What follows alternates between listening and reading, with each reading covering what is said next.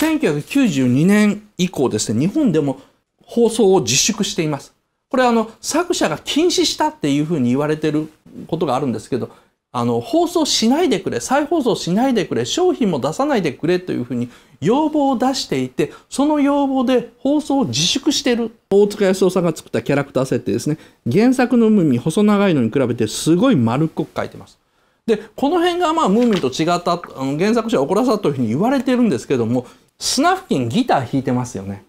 このスナフキンがギター弾いてるっていうのは日本の初期のアニメだけなんですよ。でこれも、えー、東部が起こった一つです。スナフキンはギター弾かない、ハーモニカですっていうふうに言ったんですけども、で、おまけにスナフキンも原作であんまり名言つぶやかないんですよ。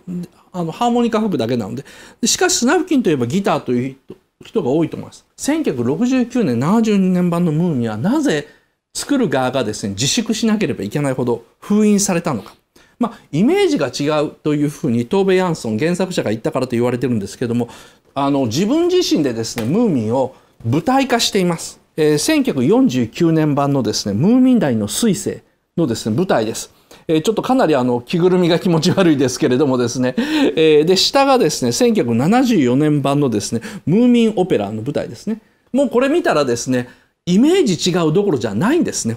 ムーミンのイメージ形が多少変わることはですね、あの、トーベ・ヤンソン自身も納得してたんですね。知っていたと。でもしかし、アニメーション、日本で作るアニメーションに関しては最初から乗り気ではなかったというふうに言われてます。えー、話かなり原作寄りにしたんですよ。で、ムーミンもですね、ちょっとあの鼻長くしたんですけども、それがまた日本のファンにはすごい不満で、で、えー、放送終わってですね、1972年にもう一回また新ムーミンというのが作られる。で、1971年、その前の年にですね、東米・ヤンソンはまあ、両者の関係を良くするためにですね、えー、日本のスタッフ側から招待を受けて、で、あの、日本に招待されたんですね。日本に招待された。で、日本に招待して来てもらった時に、たまたま日本にいる時に運悪く、ムーミンの再放送があったそうなんです。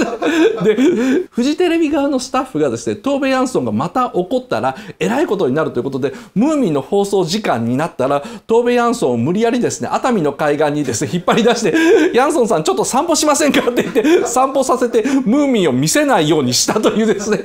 まあ、あの、有名な話があります。虫プロが作った72年版の新ムーミンにも、トーベはですね、ヤンソンは満足せずですね、以後は日本ですら、えー再放送を自粛するというような形になってしまいました。